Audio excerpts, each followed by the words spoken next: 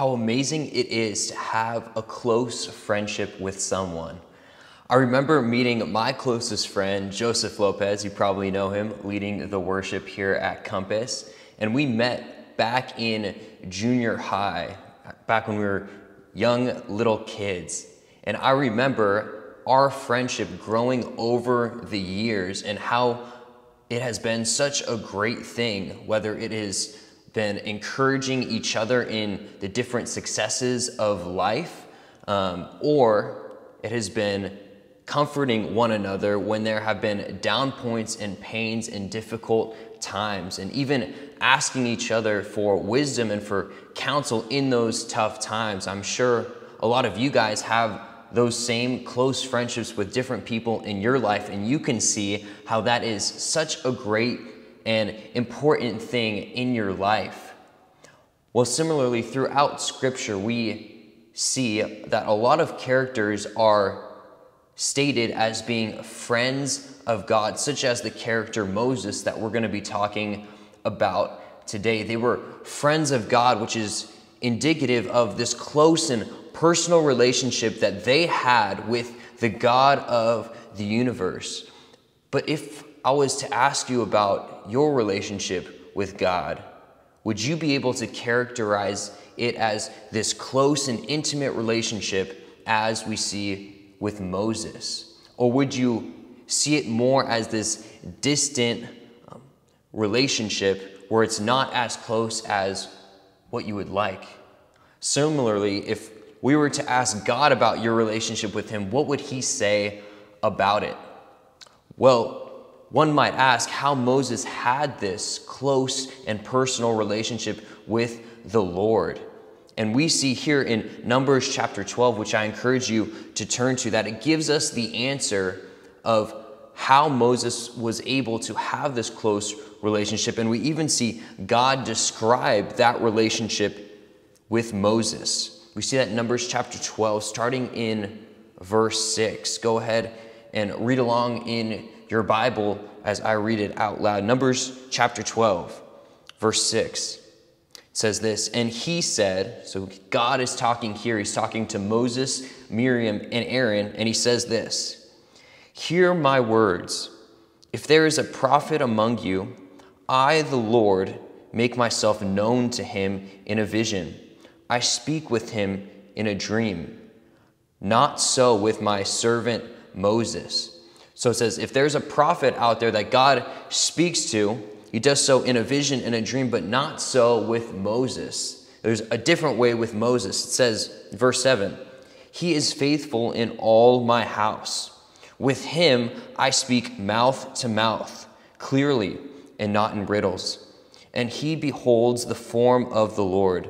Why then were you not afraid to speak against my servant Moses? So we see this distinction even between other prophets and Moses. With other prophets, God has spoken to them, some through dreams, some through visions, but with Moses, he speaks to him mouth to mouth. He speaks to them directly, and that's because of this close personal relationship that he has with God. And I want you guys to learn today from Moses' example that you should grow closer in your relationship with God every single day. And I trust that you know that when it comes to our relationship with God, us being right with God, that is not something that we earn. It is made clear throughout Scripture that apart from Christ, we are dead in our sins. We're dead in our transgressions, but we are made alive through Christ. So, being made right with God is not something that we do or something that we uh, continually grow closer in every single day. Salvation is not done by our works, as I'm sure you guys all know. But once we are made right with Him, we start this process of sanctification and becoming more like Christ every single day. And I want us to grow closer in our relationship with God every single day grow closer in that intimacy, grow closer in, in the relationship that we have with God. Because we see Moses who had a close relationship, and we should have this, the craving to do the same. So, for point number one, go ahead and write down crave an intimate relationship with God. Crave an intimate relationship with God. Well, how do we do that? How do we have this closer relationship with the Lord, the God of the universe? Well, one thing I would ask you to think about in your own life is Am I practicing the spiritual disciplines that God has outlined in His Word? We can look at Moses and say, well, Moses was able to talk to God. Think about the, the burning bush and think about God giving his commands him in the Ten Commandments or Moses getting counsel from God quite often in his life. And we can think, well, I can't do that. I can't speak directly with God. But that's not necessarily the case. We have given, we have counsel from God in his word. Hebrews chapter 1 verses 1 through 2 talk about that. It says this Long ago, at many times and in many ways, God spoke to our fathers by the prophets. But in these last days, he has spoken to us by his word, by his Son, rather, whom he appointed the heir of all things, through whom also he created the world. See, back in the Old Testament, God gave his commands through prophets who were the mouthpiece of God. But in these last days, we have the benefit of having the entirety of the canon. We have come after the Messiah, and we are able to see the commands given by Jesus himself and the entirety of the canon, the commands from God. But do we take advantage of that? Are we consistently practicing those spiritual disciplines, such as reading the Word? Are you in the Word every single day? Are we fostering that relationship with God by talking to Him in prayer?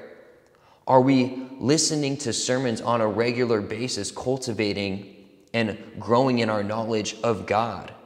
Are we worshiping God through our living and also through music consistently? Are we storing up God's word in our minds through memory?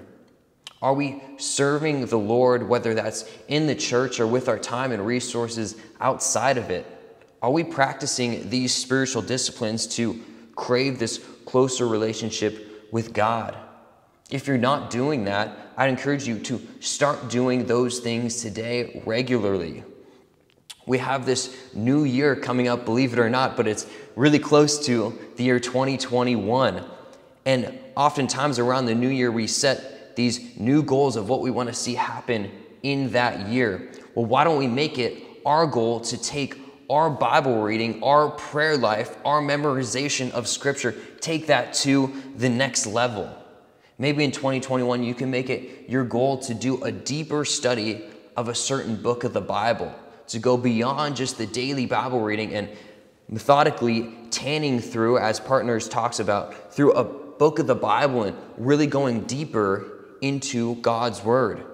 Maybe in 2021, you can make it your goal to memorize Scripture more than you have in any previous year, whether that's memorizing one verse each month or a couple verses every month to get God's Word stored in our minds. I fear far too many of us are just okay with where we are at in our walk with God, that we have been doing these things. Maybe we've do, been doing them consistently, but we are complacent with where we are at. It makes me think about Thanksgiving, which was not too long ago. And I know when it comes close to Thanksgiving, I get this hunger and this craving knowing that there's going to be a lot of good food at the dinner table, that there's going to be lots of turkey mashed potatoes and, and, gravy and green beans and salad and bread and all these great things. And I feel this craving in my stomach for that.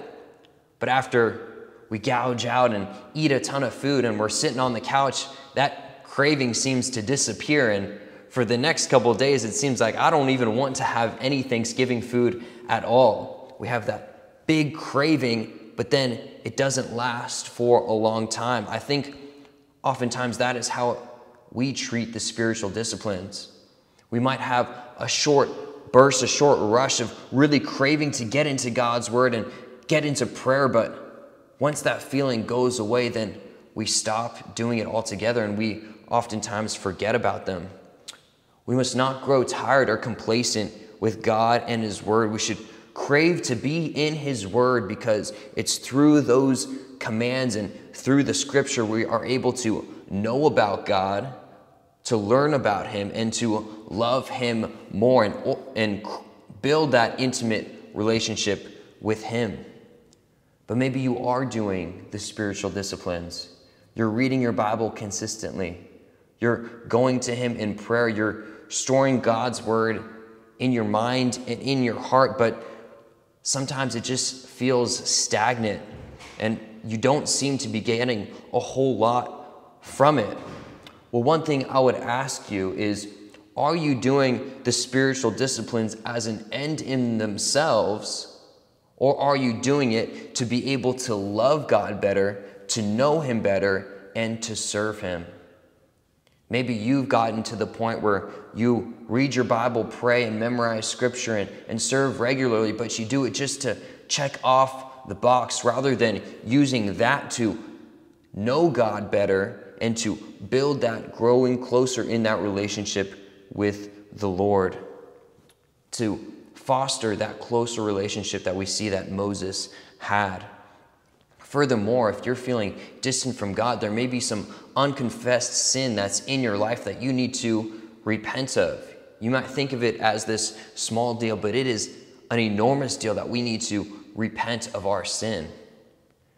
It makes me think of if you didn't know, I wear contacts. And the thing about contacts is you have to store them, at least the kind that I have, overnight in this solution.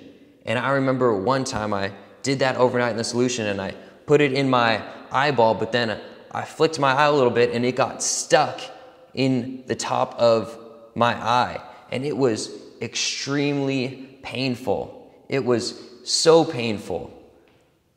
And it seemed like it was just this small thing, just a small little contact, but it had such big consequences because it wasn't where it should be. It had a big deal. Similarly, when it comes to sin in our life, we can see it as no big deal, just this small thing. But if we don't repent of our sin, there are major consequences. And maybe that is something in your life, a sin that you haven't repented of, that is making you feel distant from God. Additionally, let me ask you this Does every part of your life revolve around God? How much of your life do you spend talking to Him in prayer? Whatever happens in your life, are you quick to go and talk to God about it? Whether it's the joys of life, maybe you got a raise or you have a birth of a, a, grandchild, these wonderful things, are you quick to praise God in prayer for those things? Or maybe it's the sorrows of life. Maybe you lose a close family member or a friend, or someone that you had this close friendship with moves away and it's, it's wearing on your heart. Are you quick to go to God for comfort in prayer, talking to Him about those things? Or maybe you're in need of wisdom of how to deal with certain family drama in your life or how to confront a sin in someone else's life. Are you quick to go to the Lord in prayer. We can build this intimate relationship with God that we see that Moses had by talking to him in prayer. So we see that Moses had this close relationship, but what does God point out about him in Numbers chapter 12? Look back at Numbers 12, verse 7 talks about the distinction between all the other prophets and Moses. And at the end of verse 7, he says this that Moses, he is faithful in all my house. Moses was faithful to obey what God had commanded and told him to do. So, for point number two, go ahead and write down faithfully obey God's commands. Faithfully obey God's commands. When God gives us commands in Scripture, of what we are to do with our lives? Are we quick to come up with excuses, reasons why we aren't going to do what He told us? Or are we going to faithfully do what he says, even when it is difficult. Think about how Moses obeyed God's commands. Hebrews chapter 11 talks about it, how Moses was this man of faith, and that faith led him to obey God in whatever he called him to do. Hebrews 11 talks about it in verse 24. Before it talks about the, the faith of Moses' parents. But here, verse 24, by faith, Moses, when he was grown up, refused to be called the son of Pharaoh's daughter, choosing rather to be mistreated with the people of God than to enjoy the fleeting pleasures of sin. He considered the reproach of Christ greater wealth than the treasure, treasures of Egypt, for he was looking to the reward. So rather than just remaining in Egypt with the fleeting pleasures of sin, Moses was obedient when he was faithful to God because he considered the reproach of Christ greater than the wealth in Egypt. Verse 27 of Hebrews 11 goes on By faith, Moses left Egypt, not being afraid of the anger of the king, for he endured as seeing him who is invisible. Verse 28 By faith, Moses, he kept the Passover and sprinkled the blood as God commanded them to do, so that the destroyer of the firstborn might not touch them. And then verse 29, the, the passage that we all remember by faith, the people crossed the Red Sea as on dry land, but the Egyptians, when they attempted to do the same, were drowned. Moses was a man of faith who did what God commanded of him to do. Think in your mind of the whole entirety of Scripture and the commands that God has given to us. Are we obedient to fulfill those commands? When God commands us to serve in the church, are we obeying that command? When God gives us the greatest commandment and to go out and make disciples of all nations, are we obeying that command to go out and to evangelize to our neighbors? to our family, to our friends, to people we don't even know? Are we obeying that command that God has given to us? Or do we come up with excuses? We can look at Moses as someone who consistently obeyed God, although he wasn't perfect. You, I'm sure you can think of many examples in Moses' life where he didn't obey God well. Think of how he killed an Egyptian man in Egypt, or when he struck the rock twice in the wilderness, when God told him to speak to the rock, and Moses struck it twice, and that was the thing that kept him out of the promised land was that disobedience. Or even in Genesis chapter 3, when God commands Moses to go back to Egypt, but Moses comes up with all these objections to obeying God. He comes up with the objection of the people, they won't listen to me.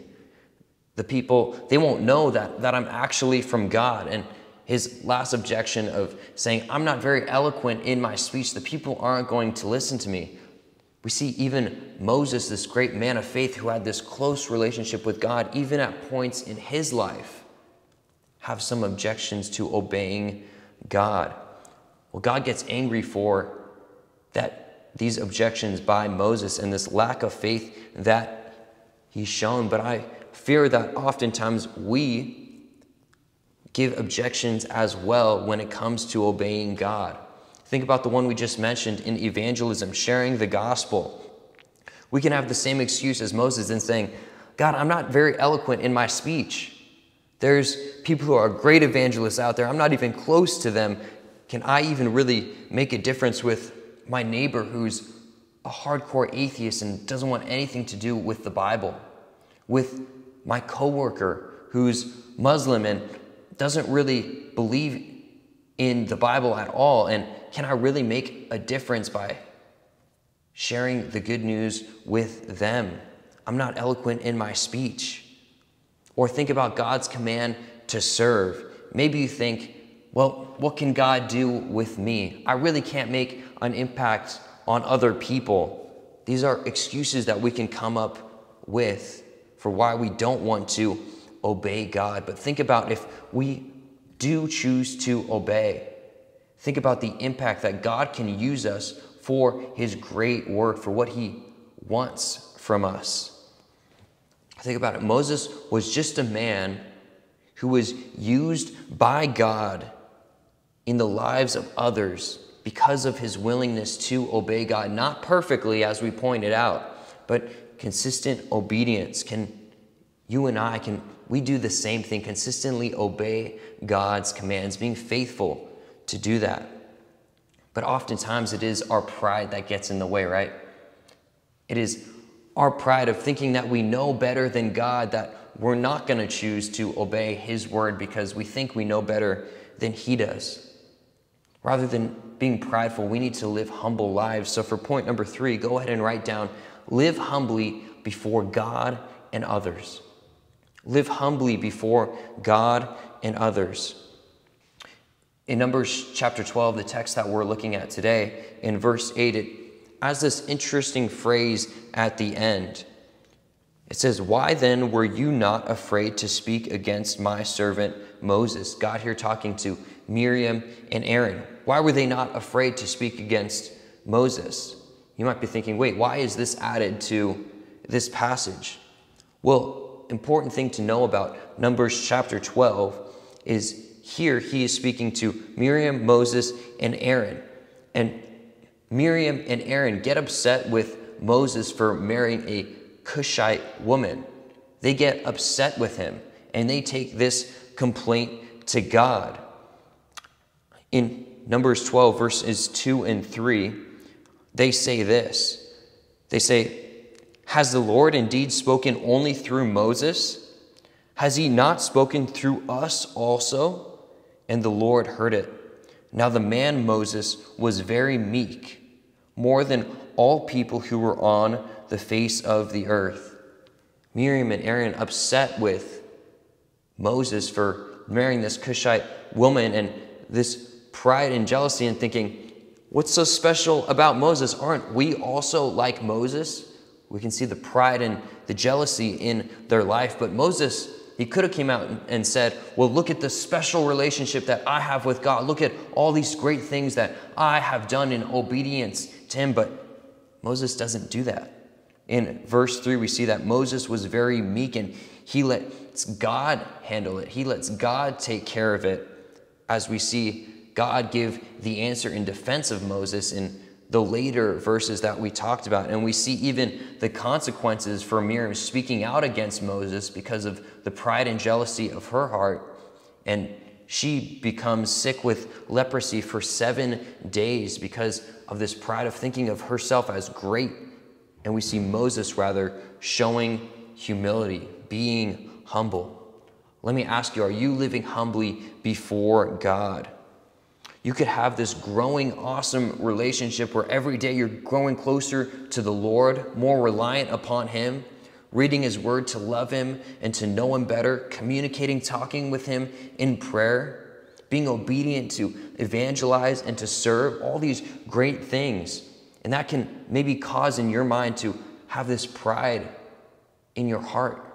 Think of yourself as greater than other people, but we should never let pride manifest itself in our hearts and in our lives. Don't let that happen. Ultimately, we should be motivated to be humble and be motivated to grow closer to God, looking forward to the day when we will see God face to face. Revelation 22, verses 3 through 4, talk about that, talking about heaven, where no longer, it says, will there be anything accursed but the throne of God and of the Lamb will be in it, and his servants, we will worship him. They will see his face, and his name will be on their forehead. May our future reality of being in the presence of God encourage us to grow closer to him every single day, growing more like Christ in our obedience to him, living humbly before the Lord. May I encourage you to grow closer in your relationship with God every single day. We started by talking about how good it is a thing to have a close friendship here on this earth, but how much greater is it to have a close relationship with the God of the universe, the creator of all things? And one of my favorite hymns called What a Friend We Have in Jesus echoes that sentiment. It says this What a friend we have in Jesus, all our sins and griefs to bear. What a privilege to carry everything to God in prayer.